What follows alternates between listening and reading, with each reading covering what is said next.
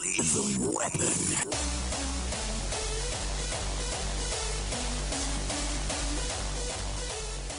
Hey everyone, Gaming Exposure here. Welcome back to another tutorial of a Minecraft mod install.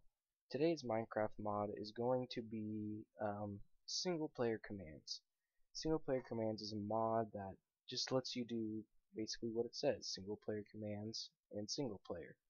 So if you haven't already downloaded WinRAR, go on ahead. I'll leave an annotation to how to download WinRAR right here, the top right.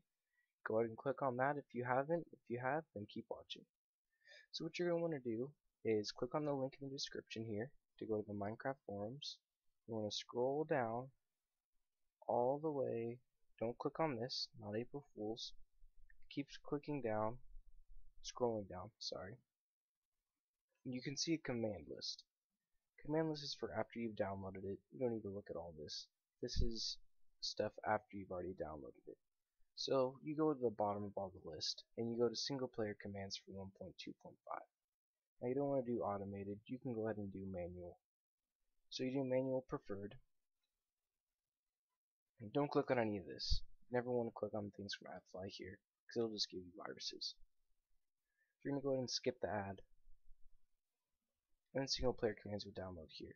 You can click on single player commands from here and it'll open right up, but if you've already exited out of your internet, then you can just go ahead and click here click on your downloads and then click on oh I lost it click on single player commands.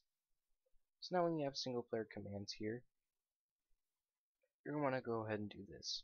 Just go to the side right there and now go to the bottom left down here to the start menu now you're going to want to search here in search programs and files type in percent app data percent now the only folder here is going to be roaming, so go ahead and click on it. Now you're going to want to go ahead and click on your .minecraft, double click, and double click your bin, and then go to your Minecraft executable jar file. You're going to want to go ahead and right click it, open with WinRAR Archiver. So when that's open, you can X out of your .minecraft. Go ahead and drag this to the side.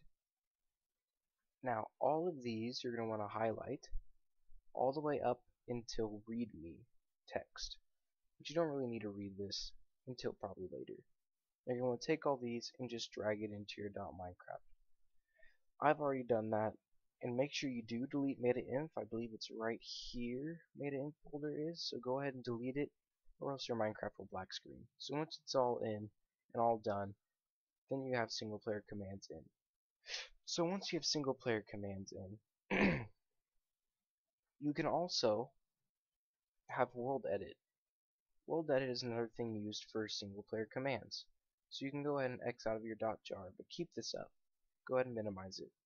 Now you can go ahead back to the menu, to start menu, and type in percent app data again, again to get your .minecraft again. Once you've done that, you're going to want to go ahead and go to your .minecraft, go to your bin, now stay at your bin.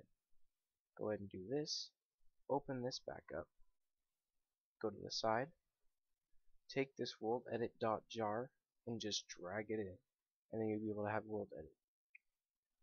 There you go, that's how you get single player commands and world edit for Minecraft 1.2.5. Thanks for watching, please comment, rate, subscribe, and hang out for some more videos if you need any more tutorials. Thanks for watching.